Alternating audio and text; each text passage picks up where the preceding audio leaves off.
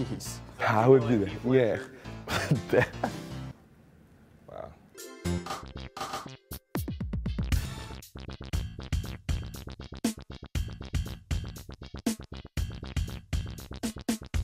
Well, how am I gonna play football in the clown costume? Uh, I'd go clown costume with uh, cleats underneath the, the clown shoes. Clown makeup. The Joker, Joker, Batman Joker, he looks good. Why so serious? I don't like, I don't want to touch this, you know. I don't keep makeup off my face or the, and, and the beard. I'd say clown makeup. I'm a fashion guy. Yeah, they're pretty comfy and uh, I don't know. Just the makeup seems like it'd be a little too much. I go costume.